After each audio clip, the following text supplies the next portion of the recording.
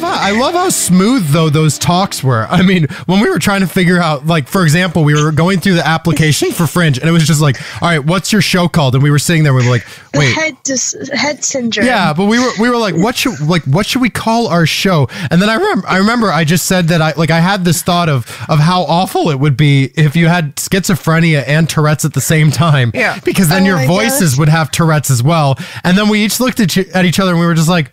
Yeah, that's the name. Yeah. and then and then you and then Hannah. Then, then we were going through and it was just like, "What's your group name?" And I, and we were like, "Wasn't that our group name?"